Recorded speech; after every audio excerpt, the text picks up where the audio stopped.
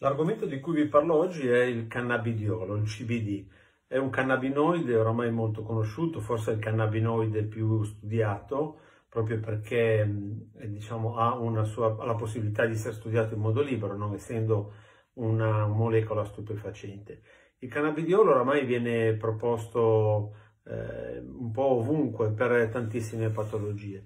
Io parto da un lavoro eh, scientifico pubblicato recentemente nel mese di maggio che dice qual è il ruolo del, del cannabidiolo, del CBD, nella terapia, nell'intervento terapeutico per le tossicodipendenze, per le substance use disorder, cosiddetto, che praticamente sono le tossicodipendenze. Cioè è stata fatta una ricerca nella varia, nelle varie attività eh, di pubblicazione che ci sono eh, online eh, sul, su PubMed, si è andato a vedere quanto e come viene utilizzato il CBD nelle tossicodipendenze per risolvere le, le tossicodipendenze. Nella dipendenza quindi da alcol, da eroina, da THC, da cannabinoidi, quindi da cocaina, anfetamina, metanfetamina, nicotina, morfina, quindi tutte quelle sostanze che sappiamo che agiscono sul nostro sistema nervoso centrale e danno dipendenza.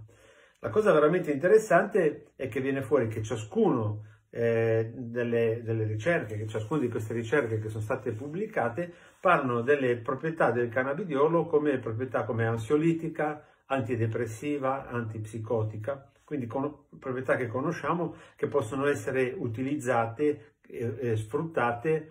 non solo nel campo delle tossicodipendenze, dove lì possono trovare la loro, la loro eh, il loro razionale, ma in tantissime delle patologie del sistema nervoso che noi conosciamo, quindi tutte le malattie neurodegenerative, ma le malattie neurologiche in, in generale. E la cosa ancora interessante che viene fuori sono le differenze sessuali, cioè come c'è proprio una differenza di genere nella, nel funzionamento, ma questo è un argomento ulteriore su cui ci saranno altre ricerche, ma noi sappiamo che molti farmaci si comportano così, cioè noi sono studiati normalmente indipendentemente dal sesso eh, su cui vanno a agire, ma noi sappiamo che eh, queste, la chimica della donna, della femmina, è diversa dalla chimica del maschio, per cui la, le biologie sono differenti, per cui sicuramente anche da questo punto di vista ci sono differenze. Il cannabidiolo come agisce? Il cannabidiolo a livello del sistema nervoso centrale ha delle azioni che sono estremamente interessanti perché agisce in sinergia con tutto il sistema serotoninergico, quindi l'attività antidepressiva, ma non solo. Ha un'azione di abbassa l'attività eccitatoria, quindi glutamatergica, che eh, hanno alcune sostanze, tra cui queste sostanze stupefacenti. Agisce sul sistema endocannabinoide in, maniera indiretta perché blocca l'attività degli enzimi che degradano gli endocannabinoidi e quindi aumenta la quantità di endocannabinoidi in circolo. E modula l'attività della morfina, quindi l'attività che dà dipendenza dalla morfina, ha un'azione fa- favorente i recettori della, della, dopamina. Noi sappiamo quanto è importante l'utilizzo, ad esempio, del, del CBD eh, nei pazienti che hanno deficit di dopamina, quindi nelle forme di Parkinson e Parkinsonismo, ha un'azione favorente la neurogenesi sull'ippocampo, quindi perché? Perché va ad agire in modo particolare, quindi favorisce anche la neurogenesi, quindi nei deficit di memoria e favorisce la, la liberazione eh, di fattori neurotrofici cerebrali, eh, aumenta alcune, alcune chinasi, insomma non entriamo nello specifico, però ha un'azione veramente interessante, ma l'azione diciamo si svolge poi là dove si svolge la partita più importante eh, nelle malattie neurologiche e comunque nelle dipendenze e comunque anche nelle malattie neurodegenerative, cioè sulla, sull'area tegmentale ventrale, sul nucleo accumbens,